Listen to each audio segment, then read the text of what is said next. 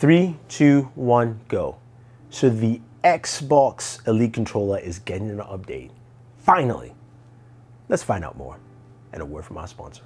This video is brought to you by B&H Photo where not only can you find the latest electronics, camera hardware, but also gaming hardware, including monitors, consoles, games, you name it. Definitely use our link down below to check it out and let's jump back in. So the Xbox controller, the Elite 2 is finally coming out. It's got some new updates, has a very similar look, but a lot of changes that make this quite interesting.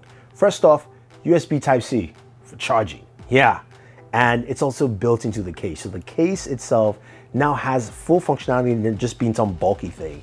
That is the charging cradle for your controller, which is really nice. You can also replace the batteries too if you want to. You've got the paddles at the back, but what you've also got that's added that's new is the new profiles. So you can save three profiles of the controller, but one for Gears of War 5, Borderlands 3, or even the new Star Wars games. So you've got different profiles set for the games you want. Uh, the triggers are now more customizable, shorter travel distance. You can add more tension also to your thumbstick. So if you're playing racing games, you need that tension on the wheel.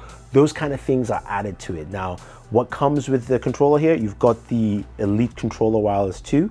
You've got the carrying case. Uh, you've got uh, a set of six thumbsticks, two standards, two classic, a tall, and a wide dome, a set of four paddles, two medium, two mini, a set of two D-pads, standard and faceted. Um, then the thumbstick adjustment tool to basically tighten the thumbsticks there for you. A charging dock, which is built in, uh, which you can also take out, though it's built in. You can actually use it in the case, and USB Type-C cables, all for the good, lovely price of $179. Nice, feels comfortable, looks really nice.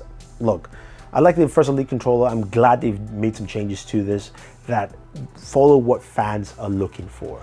So there you have it, guys. If you have any questions or any comments, let me know. If you want to get yours, use the link down, down below to pre-order yours. It's available right now at xbox.com, 179 bucks. I'm excited to see it. And of course, you can use it with Project xCloud. Check out that video about that as well. This is Thunder E saying thank you and always enjoy entertainment. Two minutes.